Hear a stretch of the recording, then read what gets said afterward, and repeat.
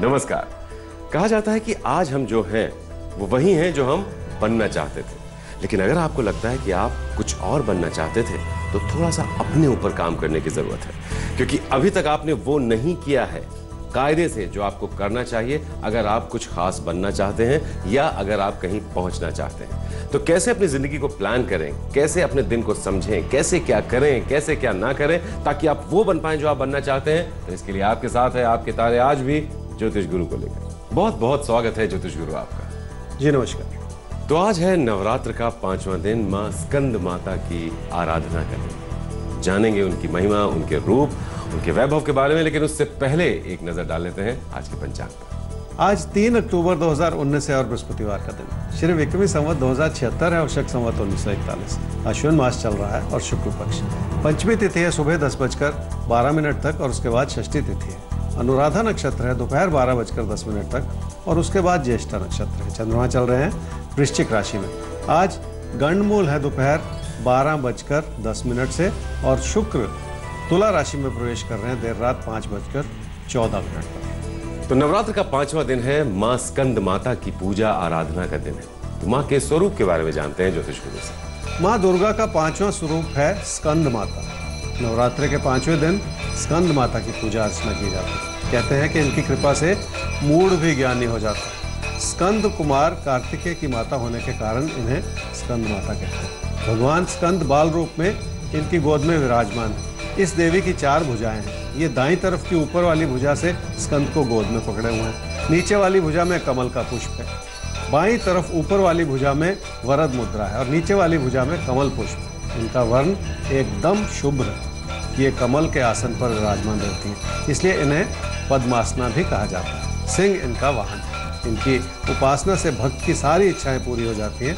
भक्त को मोक्ष मिलता है। मन को एकाग्र रखकर और पवित्र रखकर इस देवी की आराधना करने वाले साधक या भक्त को जीवन रूपी इस भव भव सागर को पार करने में कोई कठिनाई नहीं। तो माँ स्कंद माता, आज के दिन आप सब पर अपनी कृपा बनाए रखें। इसी सोच के साथ मेष और ऋषभ, सबसे पहले आपके बारे में आपका राशिफल आपके सामने रखते हैं और फिर आपको बताते हैं कि आप आज क्या करें, क्या ना करें। मेष राशि वाले ही समझ लें कि ज़िंदगी की रुकावटों की वजह से आपको कामकाज की स्थिति भी कमज़ोर लगनी शुरू हो गई। पर बहुत हद तक आपके मन की बनाई हुई दुविधाएँ हैं ये, जिसकी वजह से आप निजी जीवन की चिंताओं को भी पूरी तरह से संभाल नहीं पा रहे। क्या करना चाहिए समझ यथास्थिति बनाए रखने से बहुत सारी चीज़ें संभलेंगी और किसी भी तरह का बदलाव करने से नुकसान होता चला जाएगा, जिसकी वजह से आपकी रुकावटें बढ़ेंगी। तो एक चीज़ से दूसरी चीज़ जुड़ी हुई पहले से ही सतर्क रहकर चलने से अपने हालात को संभालने में मदद मिल सकती है। क्या ना करें समझ ज़िंदगी की चुनौतियाँ हम सबके लिए बनी लेकिन ऐसे में घर परिवार से जुड़े सुख को किसी भी वजह से कम न करते चले जाएँ। लोगों के प्रति इतना आलोचनात्मक ना हो जाएँ कि आप सिर्फ़ लोगों की गलतियाँ ही निकालते चले जाएँ। वृषभ राशि वालों की कोशिशें कम हो जाएँगी तो कामकाज को संभालना और भी मुश्किल होता चला जाएगा। फिर आपको इस बात का आभास होगा कि लोग भी आपका गलत फ़ायदा उठाना चाह रहे हैं। अपने व्यवहार को थोड़ा सा और ज़्यादा व्यवहारिक बनाने से आप अपनी मुश्किलों को समझ भी पाएँगे और संभाल भी पाएँगे। ऐसे में काम के प्रति अपनी तवज्जो को तो बढ़ाना ही पड़ेगा।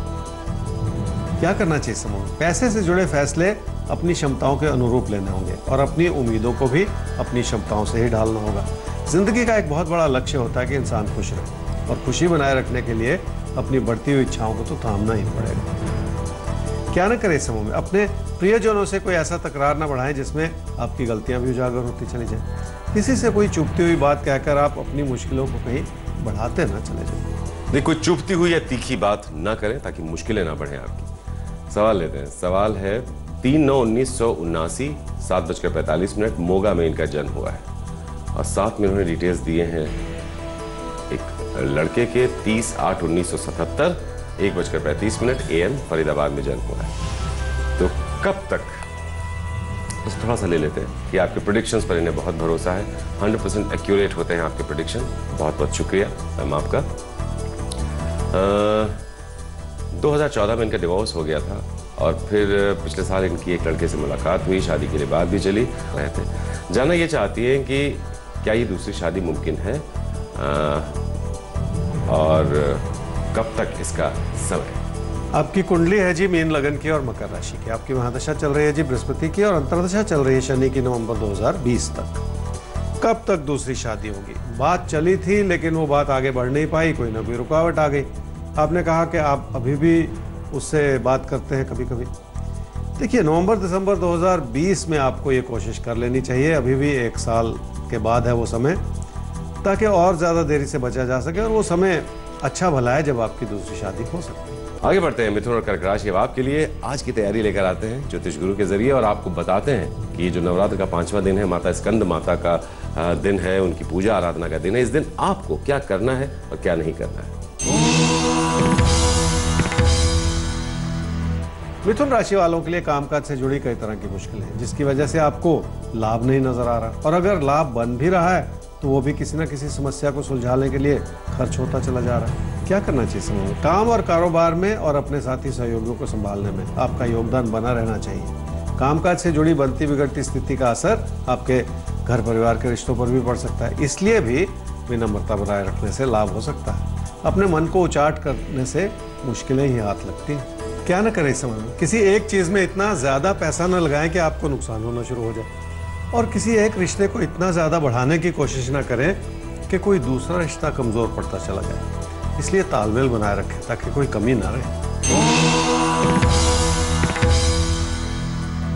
कर्क राशि वाले रिश्तों के प्रति समर्पित हैं और आपकी उम्मीदें टूटती चली जा रही। लोगों से समर्थन भी नहीं मिल पा रहा और आपका अपना भरोसा भी ऐसा है जो बिखरता चला जा रहा है क्या करना चाहिए समय आपसी तालमेल बनाए रखने से हालात आपकी मदद ज़रूर करेंगे, इसलिए थोड़ा सा अपने मन को भी समझाना पड़ेगा, ताकि रिश्तों के प्रति आपका ध्यान बना रहे। पर सबसे बड़ी ज़रूरत यह पड़ेगी कि अपनी मानसिकता को थाम लिया जाए, ताकि आप किसी भी तरह के अविश्वास से बच सकें।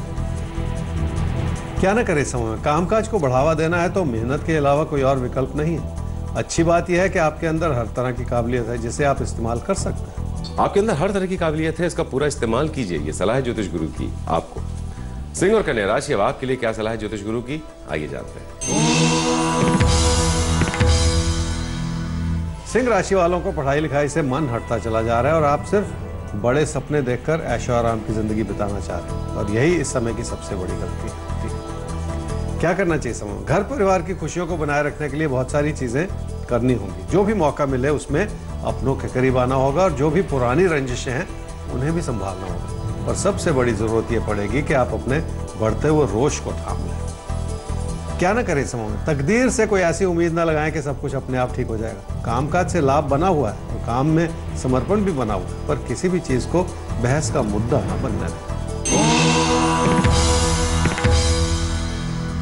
कन्या राशि वालों को किसी ज़मीन जायदाद से जुड़े मसलों में जूझना पड़ सकता है। और अगर कोई कानूनी पेचीदगियाँ हैं तो उन्हें भी संभालने की कोशिश करनी पड़ सकती है। बेहतर यह होगा कि बातचीत के माध्यम से ही उन समस्याओं का समाधान ढूंढ लिया जाए। क्या करना चाहिए समूह लोगों से बात करें और किसी नतीजे पर पहुँचने की कोशिश करें। हो सकता है ऐसे में आपको लोगों से अच्छी सलाह मिल जाए और अपनी आर्थिक स्थिति को संभालने में भी मदद मिल जाए। किसी भी झगड़े को बढ़ाने से बेहतर यह होगा कि शांति से उस मसले को संभाल लिया जाए। क्या ना करें समूह में? कोई नया खेल खेलने की कोशिश ना करें, क्योंकि बहुत सारी छुपी हुई चुनौतियाँ हैं जो आपको मुश्किलों में डाल सकती हैं। इसलिए कुछ भी ऐसा ना करें जो आपकी अपनी गलती की वजह से आपके नुकसान को बढ़ाता चला जाए ऐसा कुछ भी मत कीजिए जो आपकी गलतियों को बढ़ाए और आपके नुकसान को बढ़ाए। इस बात का ख्याल रखिएगा। सवाल लेते हैं। सवाल है खुशबू कुमारी का। तीन जनवरी उन्नीस सौ पिचासी बारबीघा शेखपुरा बिहार में इनका जन्म हुआ है, आठ बजकर तीन मिनट पर रात में।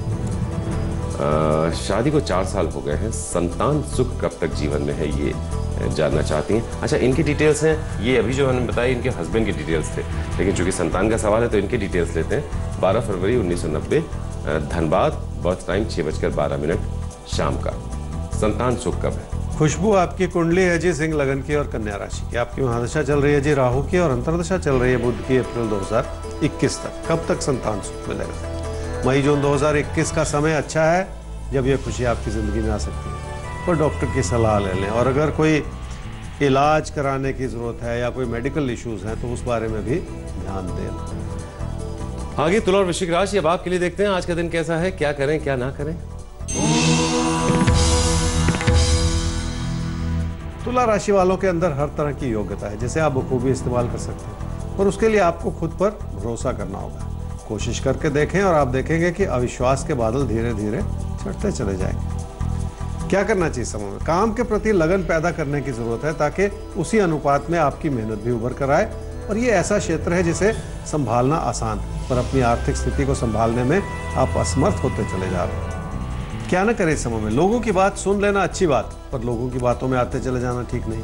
ये समय ही कुछ ऐसा है जो लोग अपने हित की बात करें जिसकी वजह से आपको नुकसान होता चला जाए। इसलिए ऐसा कुछ ना करें जिसके चलते आपको बाद में पछताना पड़े।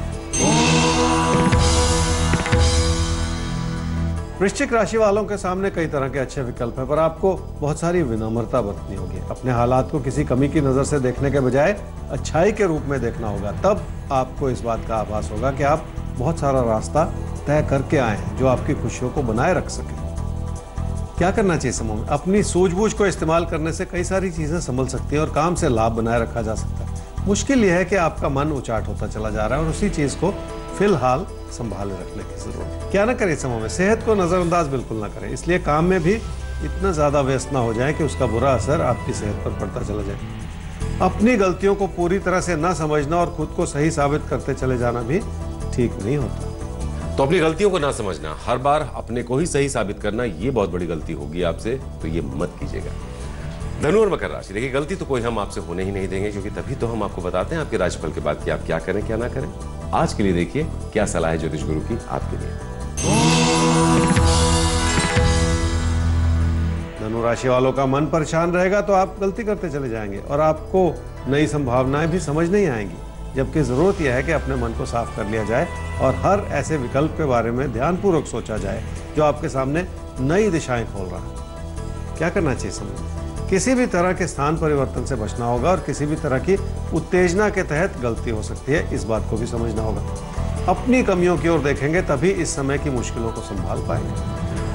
क्या ना करें इस समय में? कामकाज के क्षेत्र में आपका प्रदर्शन भी अच्छा है और हालात भी मदद कर रहे हैं, पर अपने अंदर किसी भी तरह के अविश्वास की भावना लाने से नुकसान ही होता है। इसलिए अपने विचारों को बहुत ज़्यादा नकारात्मक न बनाते चले। मकर राशि वाले लोगों पर भरोसा नहीं कर पा रहे और सोच रहे हैं कि लोगों की वजह से आपकी मुश्किलें बढ़ी हुई। जबकि इस समय कुछ ऐसा दर्शा रहा है कि आपकी मुश्किलें आपकी अपनी गलतियों की वजह से बढ़ी हुई। जिस पर आपको ध्यान तो देना ही पड़ेगा। एक एक बात को ध्यानपूर्वक समझेंगे, तभी आप उसका समाधान भी निकाल पाएँगे। क्या करना चाहिए समय? अपनी कोशिशों को बढ़ाना है तो अपने अंदर जुनून की भावना लानी होगी। कामकाज की स्थिति इस समय मध्यम हो सकती है, पर फिर भी हालात मदद कर रहे हैं। इसलिए अपनी एकाग्रता को बढ़ाते चले जाने से लाभ ज़रूर होगा। क्या ना करें इस समय में? आपकी आर्थिक स्थिति कुछ ऐसी है जो आपकी रोज़मर्रा की जरूरतों को पूरा कर रही है, और ये भी बहुत बड़ा आशीर्वाद है। ऐसे में अपनी बचत को किसी खतरे में डालते चले जाना भी ठीक नहीं। तो अपनी बचत को बचाएँ ये सलाह है ज्योतिष गुरु की आपके लिए। कुंभ और मीन राशि आपके लिए अब हम हाजिर हैं ज्योतिष गुरु को लेकर और साथ में आपका राशिफल है और आपके लिए कुछ अचूक टिप्स हैं आज के लिए। कुंभ राशि वालों के लिए धन का आगमन कई रूप से और कई वजह से बन सकता है और नुकसान भरी परिस्थितियों से भी कोई ना कोई लाभ उभर कर आ सकता है। ये बहुत बड़ी बात है। ऐसे में अपने दोस्तों से तालमेल बनाए रखने की भी ज़रूरत पड़ सकती है। क्या करना चाहिए समय में पैसे की जरूरतें बढ़ रही हैं, जिसके लिए आपको पैसा जुटाने की भी ज़रूरत पड़ सकती है। पर इस बात को समझ लें कि जिस भी काम से जुड़े हुए हैं, उसमें दबाव बने रहना स्वाभाविक सी बात मन में थोड़ी सी शांति बनाए रखने से बढ़ती हुई पैसों की जरूरतों को संभालना भी आसान हो सकता है। क्या ना करें समूह में। अगर आप चाहते हैं कि तकदीर आपका साथ दे तो अपनी कोशिशों को किसी भी वजह से कम ना होने दें। इस बात को याद रखें कि अपनी मेहनत के बलबूते पर ही इंसान बहुत कुछ कर पाता है और बहुत कुछ उपलब्धियों के रूप में हासिल कर पाता है। ऐसे में घर परिवार के रिश्तों को कमज़ोर करते चले जाते चाहिए मीन राशि वालों के मन में काम को लेकर बहुत सारा असंतोष है, जबकि कोई ऐसी बड़ी कमी नहीं है जिसकी वजह से आप परेशान हो रहे हैं। ये आपके मन में बनाई हुई नकारात्मकता है जो आपको चिंताओं में डाले हुए क्या करना चाहिए समूह अपनी अच्छाई को भली भांति परखने की कोशिश कर लें, ताकि जिस भी काम से जुड़े हुए हैं, उसमें आप अपना धैर्य बनाए रख सकें। लोगों की इच्छाओं और आकांक्षाओं को भी समझने की और पूरा करने की कोशिश कर लें। इसी तालमेल को बनाए रखना ही ज़िंदगी का दूसरा नाम। क्या ना करें इस समय में, अपनी बचत को कहीं फंसाते न चले जाएँ। एक और तो आपकी ज़रूरतें बढ़ रही हैं, दूसरी ओर अगर आपके फैसले गलत हो जाएँगे तो पैसे का लेन देन कठिन होता चला जाएगा। और इस समय ऐसी कोई स्थिति ना उभरने दे, जो आपको किसी जोखिम में डालती चले। हमें आगे बढ़ना है ज्योतिष गुरु से और जानना है कि जैकपॉट किसके नाम खुलता है आजकल। वृषभ राशि वालों के लिए खास उपाय यह है जी कि आने वाले चार शनिवार को किसी भी मंदिर में जाएँ ताकि अपनी परेशानियों को संभालने के लिए आप थोड़ा सा मनन कर सकें। किसी भी बात को पूरी तरह से समझने के लिए मन में धैर्य बनाए रखने की ज़रूरत पड़ती है और मंदिर में थोड़ा सा समय व्यतीत कर लेने से ऐसा करना आसान भी हो जाता है। तो फ़िलहाल इजाज़त दीजिए और अगर आपको ज़िंदगी में लगता है कि आप वो नहीं बन पाए जो आप बनना चाहते थे तो यहाँ पर कमी सिर्फ़ अपने अंदर है, अपनी सोच में है, अपनी मेहनत में है। उस कमी को आपको दूर करना है आपके तारे के साथ, अपने हर दिन को बेहतर ढंग से प्लान करते हुए। अगर कोई मुश्किल है तो आईडी है आपके तारे आज तक डॉट कॉम, अपना सवाल भेजिए ज्योतिष गुरु तक।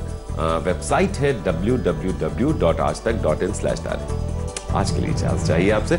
कल फिर मिलेंगे आपसे ज्योतिष गुरु के साथ। एक नए दिन को लेकर और आपके साथ होंगे आपके तारे।